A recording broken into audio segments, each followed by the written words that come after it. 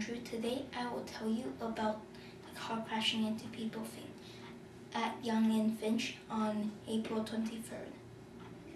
The car was driven by Alek Minassian, who was 25 years old. He killed 10 people and injured 50 more. Some witnesses said, I saw some hats flying after driving down the road. I think the driver is nuts because why would you ever drive a car down a sidewalk?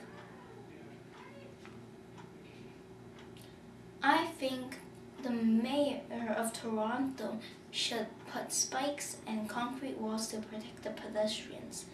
I think that guy is not a good person because I think he loves violence. Both the police and Alek Minassian was using pistols.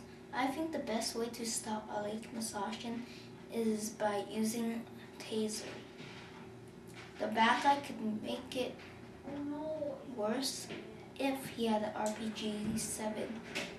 Therefore, I think the car crashing into people thing is a very bad terrorist thing. I hope we can all be peaceful.